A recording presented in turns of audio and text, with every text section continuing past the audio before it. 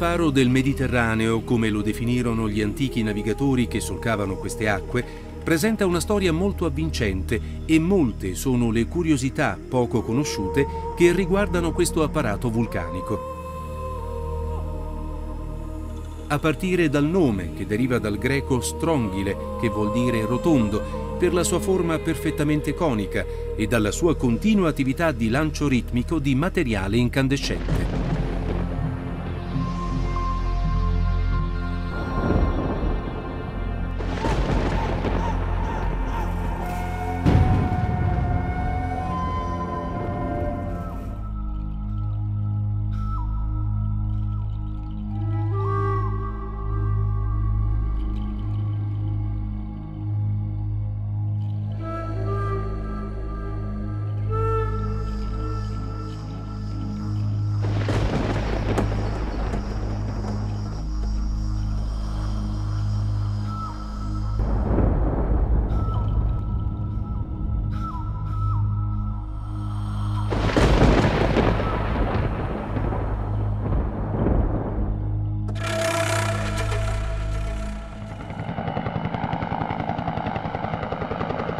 Nel Tirreno meridionale vi è una manciata di isole di origine vulcanica, molto conosciute da turisti e diportisti, ma anche da scienziati di tutto il mondo.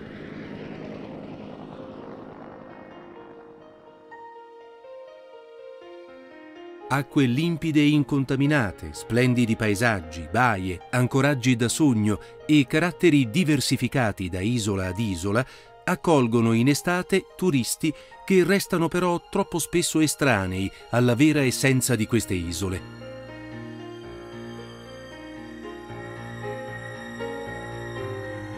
Solo gli esperti ne conoscono l'intima essenza, sempre da riscoprire e approfondire, che le rendono comunque uniche nell'intero Mediterraneo.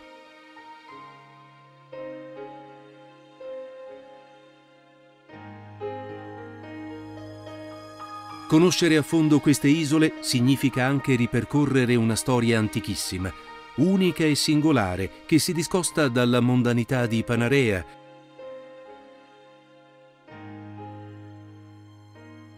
dalla vita cittadina di Lipari, dall'esotica Stromboli. O dai ricoveri di Pollara.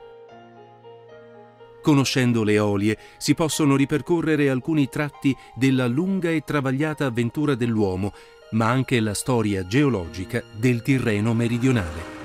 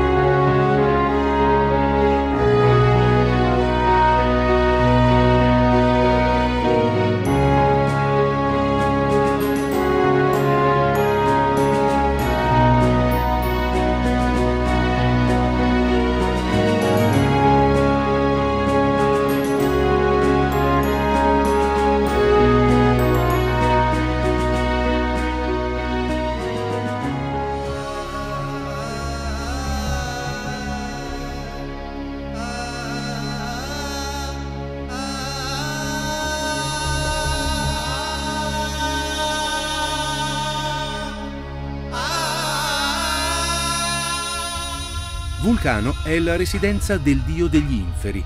La mitologia pone nel suo interno infuocato la fucina del dio che forgiava le armi per dei ed eroi con il calore del magma che proveniva dalle viscere della terra. Quest'isola dà il nome a tutte le montagne del nostro pianeta, piccole e grandi, formate per attività vulcanica.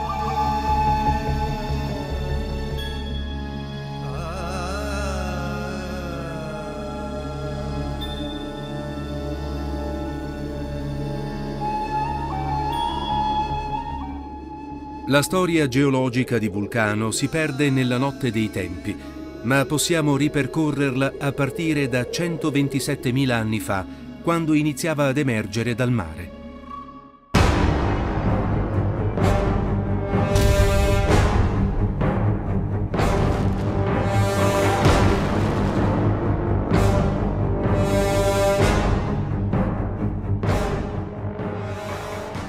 Veniva a costruirsi così lentamente un edificio vulcanico molto più grande di quello che vediamo oggi.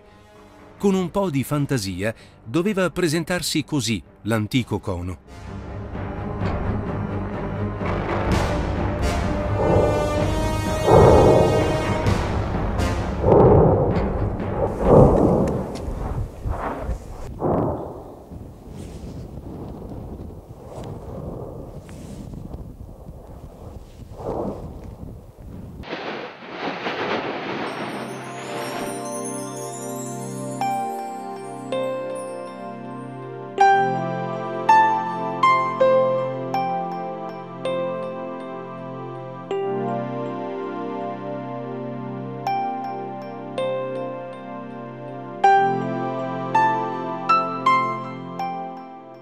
Grandi eruzioni danno origine alla spessa coltre di pomice e a colate di ossidiana, il nero e tagliente vetro vulcanico che costituirà il futuro e l'essenza delle prime civiltà eoliane.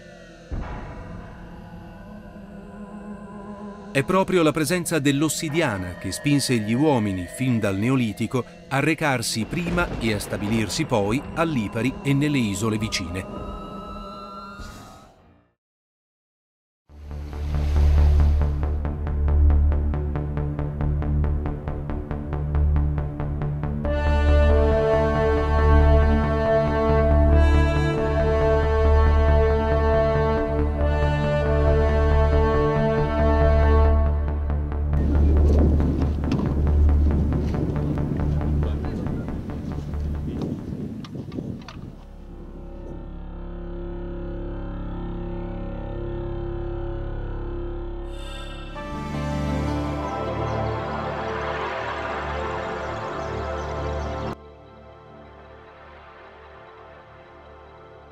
L'isola di Salina è attualmente caratterizzata da due principali edifici vulcanici di forma conica, il monte di Fossa delle Felci, la cima più alta delle isole Eolie, e il monte dei Porri.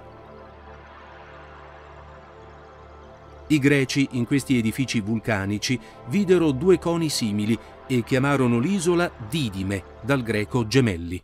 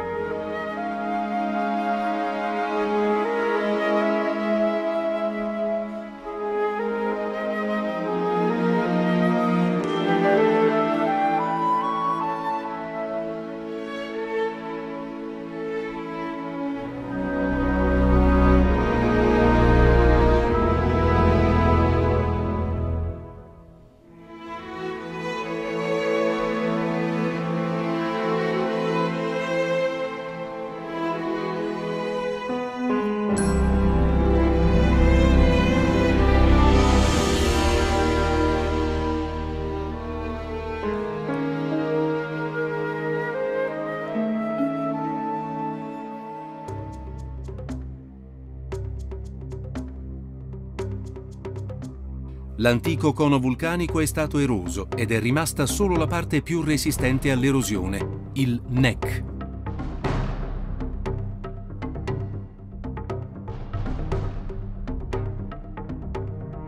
La nascita e il successivo smantellamento del centro vulcanico della Canna avviene nell'arco di qualche migliaio di anni.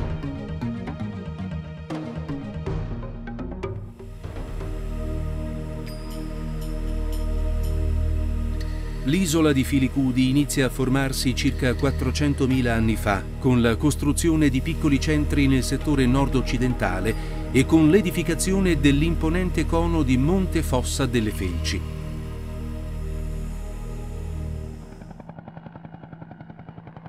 Panarea inizia a formarsi 150.000 anni fa e si completa in circa 50.000 anni.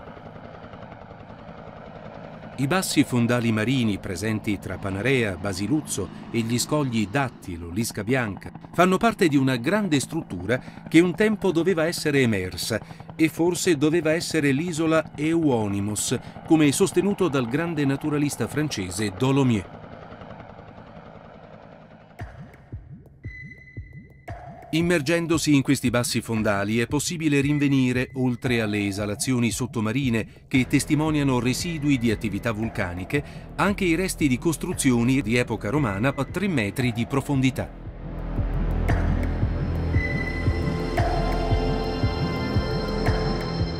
Questi resti testimoniano che il fenomeno di inabissamento è recente e forse ancora in atto.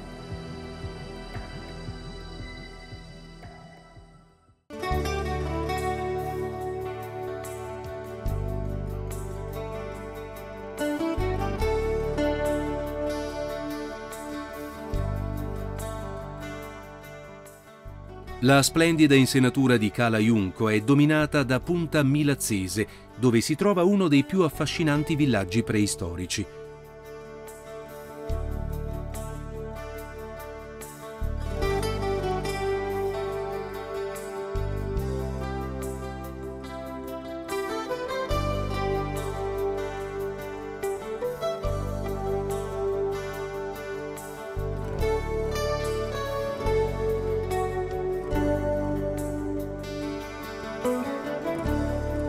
Le tinte pastello delle case di Panarea sembrano voler competere con i colori che madre natura ha donato alle eolie.